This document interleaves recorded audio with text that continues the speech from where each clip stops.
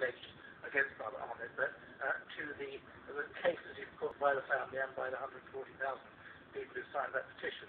And I'll just read it's very, very short.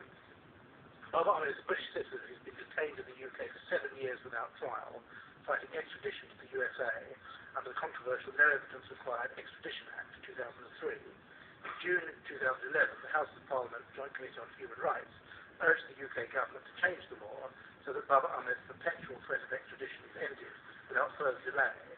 Since all of the allegations against Babar Ahmad are said to have taken place in the UK, the, uh, the petition that's attracted, 140,000 uh, signatures. The term